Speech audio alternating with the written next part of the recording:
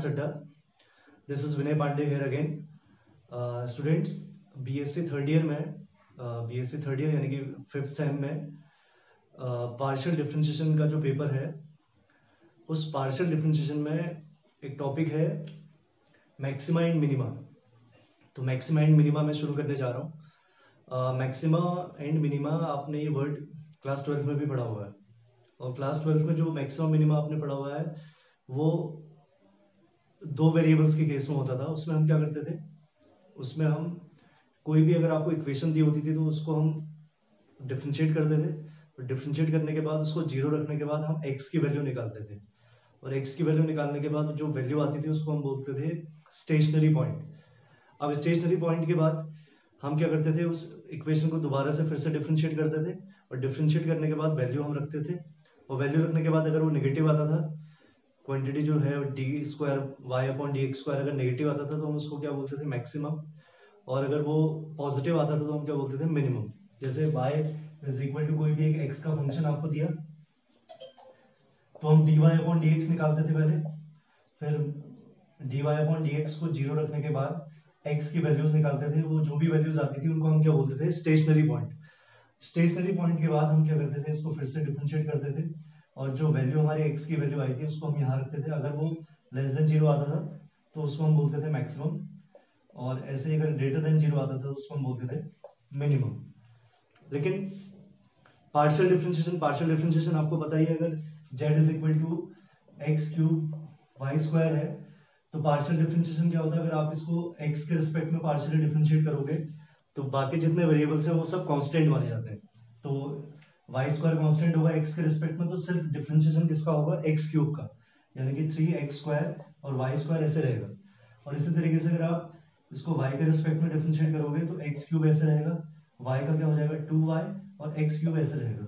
इसी को दोबारा से अगर आप y के रिस्पेक्ट में डिफरेंशिएट करोगे तो कितना हो जाएगा? सिर्फ़ वाई स्क्वायर का होगा। कितना हो जाएगा? सिक्स एक्स स्क्वायर वाई तो ये पार्शियल डिफरेंशिएशन होता है। अब हम क्या करेंगे, जो हमको मैक्सिमम मिनिमम पढ़ना है, वो सेवरल इंडिपेंडेंट वेरिएबल्स के केस में पढ़ना है। अब हम बात करते हैं फ़ंक्शन जो हम दो से ज़्यादा वेरिएबल्स के फ़ंक्शन पढ़ रहे हैं। उन फ़ंक्शंस में मैक्सिमम मिनिमम फाइंड करने का वर्किंग रूल है क्या? कैसे हम फाइंड करेंगे फ़ंक्शन मैक्सिमम है या मिनिमम है? तो अभी मैंने आपको बताया कि सबसे पहली कंडीशन क्या है? नेसेसरी कंडीशन इज़ अगर आपको कोई भी function f x y z तीन वेरिएबल का कोई फ़ंक्शन दिया हुआ है तो आपको इस फ़ंक्शन को क्या करना है? इस फ़ंक्शन को एक्स के रिस्पेक्ट में पार्शियली डिफरेंशिएट करना है, इस फ़ंक्शन को वाई के रिस्पेक्ट में पार्शियली डिफरेंशिएट करना है, और इस फ़ंक्शन को जेड के रिस्पेक्ट में पार्शियली डिफरेंशिएट करना है। आपकी तीन इक्वेशंस बन जाएँगी। और मैंने आपसे क्या बोला कि the necessary condition for a function to be maximum or minimum is del f upon del x should be zero, del f upon del y should be zero, del f upon del z should be zero. जो तीन equation आपके x Y Z में आएँगी, उन तीनों equation को equal to zero रख लेना है आपको और उसको सॉल्व करके आपको क्या मिल जाएगा? X, y, z. Suppose x is a, y is b, z is c. तो आपको जो एक पॉइंट मिला वो क्या मिल गया? A b c this point is called stationary point अब आपको क्या करना है? ये तो हमको वो पॉइंट मिला है कि इस पॉइंट पे फ़ंक्शन मैक्सिमम भी हो सकता है या मिनिमम भी हो सकता है। तो अब हम देखते हैं कि फ़ंक्शन मैक्सिमम है या मिनिमम तो उसके लिए आपको क्या करना है? इस फ़ंक्शन को del del square f upon del x square और इसके साथ साथ del square f upon del y square del square f upon del z square del square upon del y del z del square f upon del z del x del square f upon del del x del y इसको हम मान लेते हैं ए इसको मान लेते हैं B इसको सी इसको एफ़ इसको जी और इसको मान लेते हैं एच तो ये जो हमने स्टेशनरी पॉइंट निकाला था, उसके बाद इन फ़ंक्शन को फिर से दोबारा दोबारा आपको पार्शियल डिफ्रेंशिएट करना है और a b c d f g h इनको मान लेना है।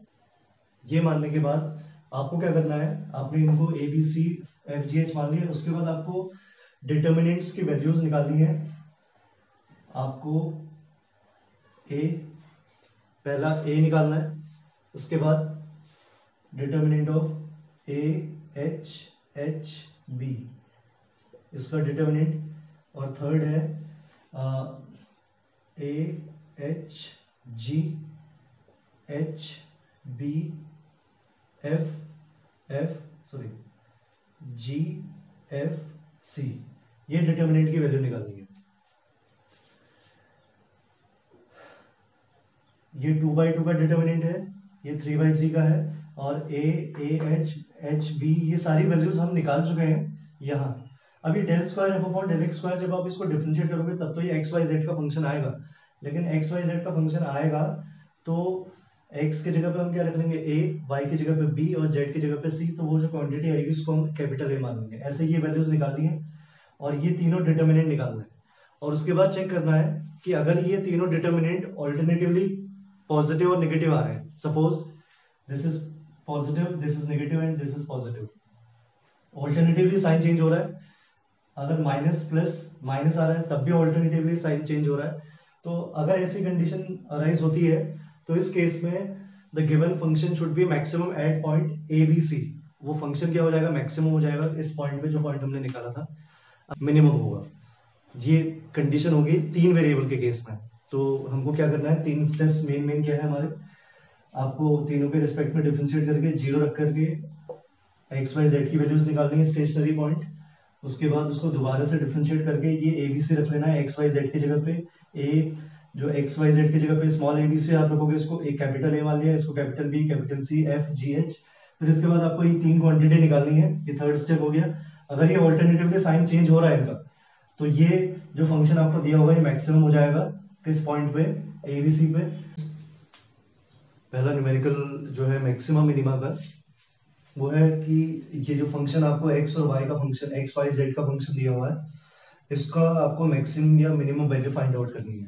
स्टेप्स क्या बताए थे मैंने? सबसे पहले आपको निकालना है del u upon del x ये हो जाएगा टू एक्स एक्स के रिस्पेक्ट में पार्शियल डिफरेंशिएशन करेंगे तो वाई और जेड कांस्टेंट माने जाएँगे। इसका कितना होगा? वन और इसका कितना हो जाएगा? Minus y del u upon del y कितना हो जाएगा? Two y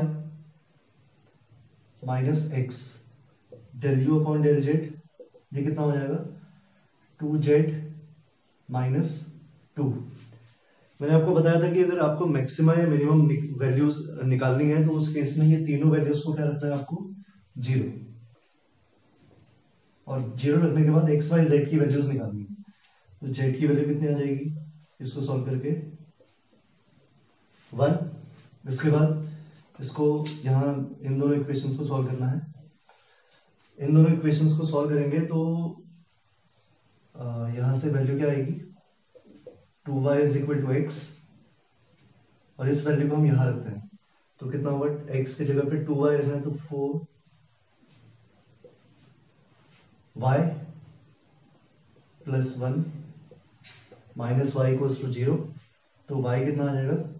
ये थ्री वाई हो जाएगा। Minus one y is equal to minus one by three और इस y की वैल्यू को अगर हम यहाँ रखेंगे तो x कितना आ जाएगा? x is equal to minus two by three तो हमारा जो स्टेशनरी पॉइंट है, जो मैंने ए बी सी बोला था जिसको, वो पॉइंट क्या हो गया?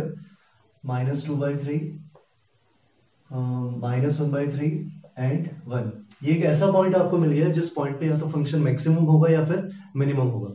अब उसके लिए इसके बाद हमको क्या करना था? मैक्सिमम या मिनिमम वैल्यू के लिए इसको दोबारा से डिफ्रेंशिएट करना। ये कितना हो जाएगा? टू डेल और इस del square u upon del square को हमको ले लेना है। A del square u upon del y square कितना हो जाएगा? टू इसको बी ले लेना है, और del square u upon del z square कितना हो जाएगा? टू इसको ले लेना है सी अब del square u upon del y del z z के रिस्पेक्ट में जो डिफरेंशिएशन था, उसको वाई के रिस्पेक्ट में फिर से डिफरेंशिएट करेंगे तो वाई वाला टर्म इसमें नहीं आ रहा है तो ये कितना हो जाएगा? ज़ीरो इसको क्या लिया था? F del square u upon del z del x x वाले को जेड के रिस्पेक्ट में डिफरेंशिएट करेंगे तो ये भी कितना आ जाएगा? ज़ीरो इसको जी ले लिया. Del square u upon del x del y y वाले टर्म को फिर से एक्स के रिस्पेक्ट में डिफरेंशिएट करेंगे तो माइनस हो जाएगा. ये वैल्यू हुई एच अब हमको वैल्यू किसकी निकालनी है? A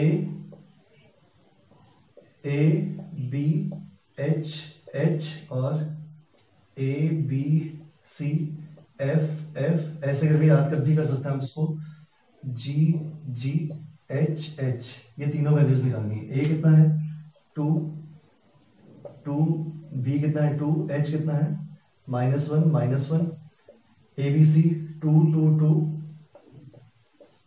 F कितना है? ज़ीरो जी कितना है? ज़ीरो और एच कितना है? माइनस वन तो टू ये कितना आ जाएगा? फोर माइनस वन और टू के रिस्पेक्ट में इसको एक्सपेंड करेंगे तो कितना आ जाएगा? Two four minus one two three और सिक्स स्टूडेंट्स मैंने आपको बताया था कि अगर ये तीनों क्वांटिटीज अगर ऑल्टरनेटिवली इसके साइन अपोजिट आ रहे हैं, अगर ये प्लस माइनस प्लस आ रहा है या माइनस प्लस माइनस आ रहा है तो उस केस में फ़ंक्शन क्या था? मैक्सिमम था। एक कंडीशन जो मैंने आपको पहले नहीं बताई थी, वो कंडीशन ये है कि अगर ये तीनों वैल्यूज़ पॉजिटिव आती है, तीनों वैल्यूज़ अगर पॉजिटिव है तो इस केस में फ़ंक्शन यू क्या हो जाएगा एज मिनिमम मिनिमम की कंडीशन क्या है कि ये तीनों जो वैल्यूज़ हैं, ये तीनों डिटर्मिनेंट और ये फ़र्स्ट ए वाली वैल्यू तीनों वैल्यूज़ के आनी चाहिए पॉजिटिव तो अगर ये तीनों वैल्यूज़ पॉजिटिव है तो फ़ंक्शन क्या हो जाएगा? मिनिमम और अगर तीनों वैल्यूज़ में ऑल्टरनेटिवली साइन चेंज हो रहा है तो फ़ंक्शन क्या हो जाएगा? मैक्सिमम और अगर इन दोनों में से कोई भी कंडीशन सेटिस्फाई नहीं हो रही है तो फ़ंक्शन ना तो मैक्सिमम होगा और ना ही मिनिमम होगा. और अगर हमको इस फ़ंक्शन में इसकी मिनिमम वैल्यू फाइंड करनी है तो आपको पॉइंट क्या मिला था? X की वैल्यू ये थी, y की वैल्यू ये थी, z की वैल्यू ये थी। इस पॉइंट को, इस वैल्यू को x, y, z की जगह अगर हम सब्स्टिट्यूट करेंगे तो हमको उस फ़ंक्शन की मिनिमम वैल्यू भी मिल जाएगी। तो इस तरीके से आपको फ़ंक्शन की मैक्सिमम या मिनिमम वैल्यू निकालनी है। पहले पार्शियल डिफरेंशिएशन ज़ीरो रखना है। एक्स वाई जेड की वैल्यू निकाल करके आपको पॉइंट मिल जाएगा। फिर ये capital A B C F G H निकालना है और ये तीनों वैल्यूज़ निकालनी है। अगर तीनों वैल्यूज़ पॉजिटिव तो फ़ंक्शन मिनिमम और ऑल्टरनेटिवली साइन अगर चेंज हो जाए तो फ़ंक्शन क्या हो जाएगा? मैक्स अब जैसे न्यूमेरिकल मैंने आपको अभी कराए, उसी तरीके के दो न्यूमेरिकल्स मैं आपको दे रहा हूँ। उसी मेथड से जैसे मैंने आपको क्वेश्चन कराया, उसी मेथड से आपको इन क्वेश्चंस को सॉल्व करना है। पहला क्वेश्चन है show that u is equal to x plus y plus z whole cube minus three x plus y plus z minus twenty four x y z plus a cube has minimum at one one one and maximum at minus one minus one minus one यानी कि इसमें जब आप del u upon del x del u upon del y del u upon del z को तीनों zero रखोगे तो zero रखने के बाद एक्स वाई जेड की दो दो वैल्यूज़ आ रही होंगी। वो दो दो वैल्यूज़ में। एक बार वो जो डिटर्मिनेंट वाली वैल्यूज़ हैं, वो ऑल्टरनेटिवली चेंज हो रही होंगे तो वो मैक्सिमम हो जाएगा, और एक बार तीनों पॉजिटिव आ रहे होंगे तो वो मिनिमम हो जाएगा। और इसी तरीके से आपको दूसरा question u is equal to a x square y a x y square z cube minus x square y square z cube minus x y cube z cube minus x y square z की power four इसको maximum या minimum value निकालनी है आपको। तो बाकी इससे related videos के लिए बने रहिए हमारे साथ। देखते हैं आगे के वीडियोस में इससे आगे के न्यूमेरिकल्स